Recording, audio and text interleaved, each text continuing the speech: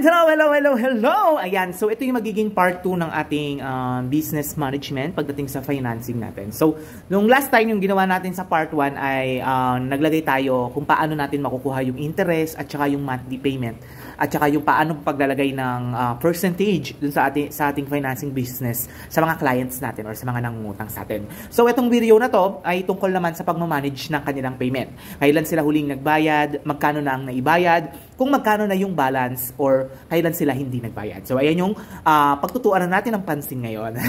ayan, so panoorin nyo lang po itong video na to. Salamat!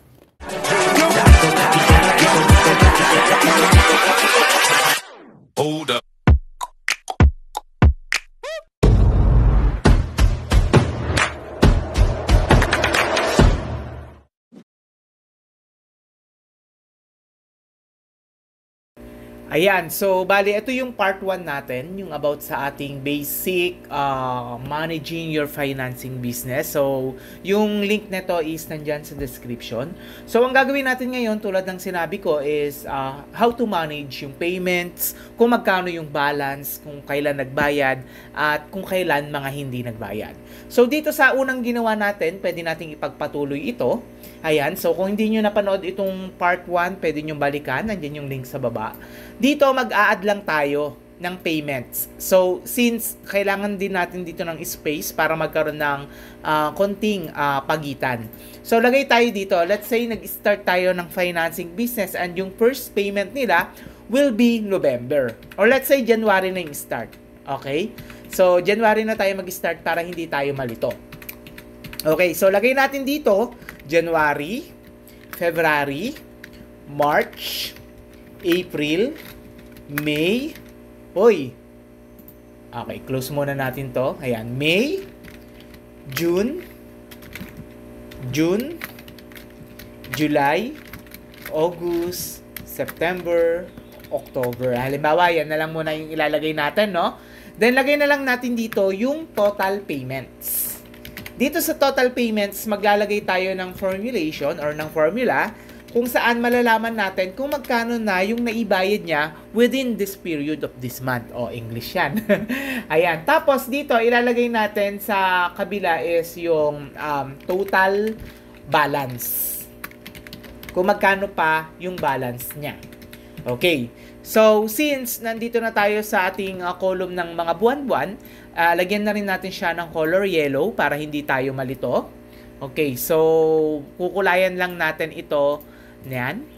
Normally kasi nakakalito talaga kapag uh, hindi tayo naglalagay ng kulay. Kasi itong mga kulay-kulay na to is sila yung nagbibigay ng pagkakaiba-iba or pagkakahati-hati ng iyong mga columns. Okay, so ganyan yung ginagawa ko normally. Pwede naman natin siyang i-control para hindi tayo mahirapan. Ganyan yung ginagawa ko normally para sa pagmamanage ng financing business. Pero wala tayong financing business. Um, naging work ko lang siya noon. Ako yung nag-manage ng financing business. Okay. Then, let's say, etong si, puntahan natin si Jervy Rivera, di ba? Yung sa part 1, meron siyang monthly payment na 2166. So, let's say, ngayon ay January na. So, let's say nagbayad na siya ng 2167, tapos February nagbayad siya ng 2167, tapos nung March hindi siya nagbayad, then yung April ang naibayad niya ay doble. So 2167 plus 2167. Ayan, actually hindi ko alam kung ano. Alam ko pag ginanyan mo yan magpa-plus yan eh.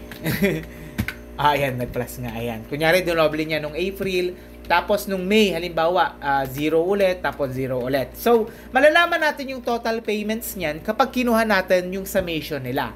So, dito sa total payments, idrag nyo lang po ito, then hanggang dito sa total payments. Then, pindutin na natin itong symbol na to sa taas. This is the symbol of summation. Ibig sabihin, magsasum yung J2, itong J2 to J5. J2, ayan, hanggang letter S. Ayan, S2. Eh, S5, sorry. Okay, so pindutin na natin siya ngayon. Ay, sorry. So, idadrag natin, then pindutin na natin siya ngayon sa total payments. So, 8668 na yung nabayad niya for the January, February, April. Ayan yung nabayad niya.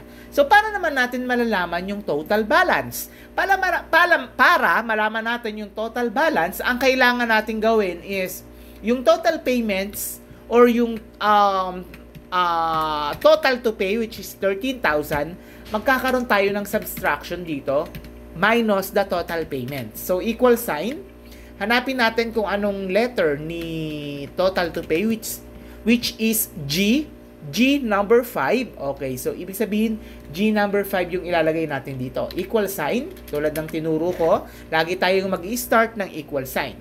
G5, tama ba? G5 minus letter T, itong total payments, T5. Okay, then i-enter natin ngayon. So, ang balance pa niya is 4332. Pero ang terms niya dito is 6 months only. So, kailangan 6 months, bayad na siya.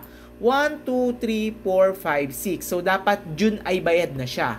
So, since hindi pa siya nagbayad, diyan tayo magkakaroon ng another column kung gusto nyo magpalagay or kung gusto nyo uh, maglagay ng interest or another charge, pwede naman maglalagay tayo ng panibagong column. Pero dito sa tutorial natin, since ito ay basic lang, syempre pagbabawalan na natin na magbayad sila or magbabawalan na natin maglagay tayo ng interest or ng another charge. Okay, so ibig sabihin ang total balance pa ni ni ni, ni Jervy, tingnan natin, ay 4,332. Ang kanyang nabayad na ay to, ang total payments is 8668. Then dito lang siya nagbayad, January, February, and April. So dito makikita din natin at mamomonitor kung magkano yung binayad niya at kung magkano yung kung saan siya hindi nagbayad. So proceed tayo dito sa pangalawa. Kay Aldo Montero, let's say 30,000. Then let's say nagbayad siya ng January ng 900 pesos. Then February nagbayad siya ng 1.8, dinoble niya. Tapos dito nagbayad ulit siya ng 1.8, dito 900, 900, 900. Eh, June pa lang ngayon. Ayan. So, from here, pwede nyo nang i-copy, tulad ng tinuro ko nung una, yung ating formula. So, i-drag lang natin ito pababa. Ayan. Ang total payments na ni Aldrin ay 7,200. Since nakagawa na tayo ng formula dito sa total balance, pwede na rin natin siyang i-drag. Okay. Ayan, 33,600 pa yung kanyang balance. So, ang nababawas pa lang sa kanyang uh, binabayaran or babayaran is 7,200 pesos. So, from here, pwede, ka, pwede mo na siyang kopyahin actually yung formula nito hanggang sa dulo ng sheet natin. Kasi, pag naman nagawa ka niya, halimbawa, ayan, Ayan, pwede ka na maglagay dyan ng formula. Magiging zero naman siya. Para hindi ka na copy-paste ng copy-paste. Pero normally, pag ganyan kasi, pag naglagay ka agad, pag nag-print mo, makikita na agad yung zero. Which is, wala pa namang details, so hindi siya uh, recommended para sa akin. Okay? Pero kayo pa rin yung bahala. So, punta tayo dito kay Jomi Skillo. Halimbawa, ay may bayad siya ng uh, may utang siya ng 5,000. Ang kailangan niyang bayaran is 8,000 pesos. Ang monthly niya ay 6,667. So, lagay natin. 6,000, ay, 667. Let's say, nagbayad siya dito ng 5,000 kasi bigla siyang yumaman. Ayan. Tapos, okay, nag, nagbayad pa ulit siya dito ng 1,000. So dito, makikita na natin kung magkano na yung naibayad niya at kung magkano yung balance niya. This is automatically, makikita nyo na agad kung magkano yung balance at kung magkano yung total payments niya. So dito, pwede mo siyang i-remind, oh, ang utang mo na lang 666. So pag nagbayad siya ng May ng 666, magiging zero na siya. So, ibig sabihin, total payment niya is 8,000 and total balance niya is zero na. Pwede mo na siyang kulayan or pwede mo na siyang alisin dito. Pero for the record, wag mo na lang siyang alisin. Then pwede na siyang mag-renew-renew. Ayan, ganun lang naman yung ating basic tutorial. Anyway, sa susunod na tutorial natin, sobrang basic lang ng gagawin natin. Gagawa naman tayo ng mga hard copy, ng mga soft copy, and ibibigay natin to sa mga gustong magkaroon ng templates na katulad nito. Kaya isa-save natin to ngayon. So, ito yung part 2 ng how to manage your financing business basic tutorial dito sa Almontera Tutorial. Ayan, salamat po sa inyong panonood. Sana po ay may natutunan kayo. Thank you so much!